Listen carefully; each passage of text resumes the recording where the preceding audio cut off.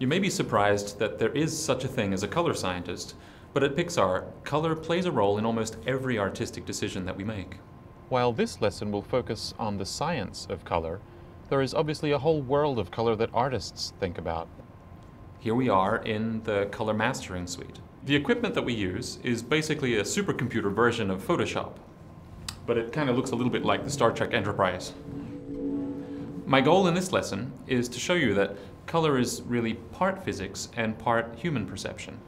And at the end of this lesson, you'll have a chance to manipulate the color using scenes from our films to achieve various artistic goals. But first we need to understand how the tools in this room work. So let's go back to a simple question. What is color? Color is a property of light, and light comes from light sources. And there are all different kinds of light sources. For example, I'm currently being lit by these lamps. Without these, our scene would look very different. And using a flame as our light source, like these two candles, really changes the feel of this scene.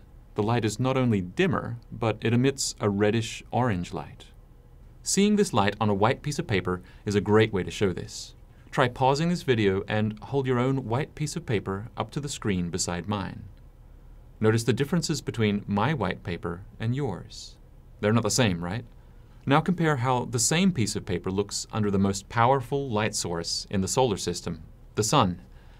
The sun gives off really intense light, especially in the middle of the day. You can clearly see that the light on this paper is much whiter than the candle light. Inside, the light was more reddish. So where did the red light go?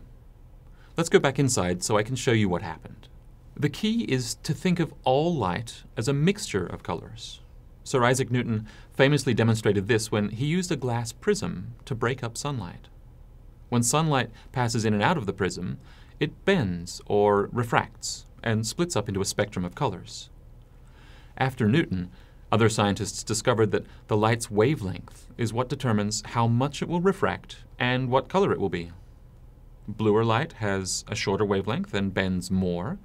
Redder light with longer wavelengths bends less. And this is the key point.